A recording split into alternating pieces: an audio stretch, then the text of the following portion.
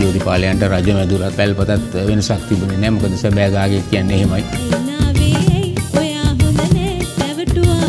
කියා කුරුමිනියන්ඩු ජෝතිපාලට ජෝතිට කියන්න බෑ මේක ලියපන් පොල් ගෙඩිය අකුරෙන් කියලා. මොකද ඊට පස්සේ ආපහු හාෆ් ෂීට් තුනක් අරගෙන ඒ සින්දුව ලොකු අකුරෙන් ලිව්වා. මං ආවේ තැන් බලා ඉඳලා මගේ මාලා සොයා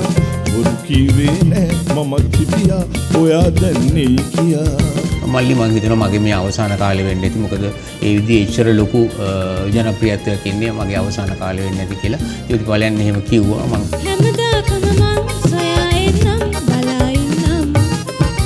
මං ආවේ තැන් බලා ඉඳලා මගේ මාලා සොයා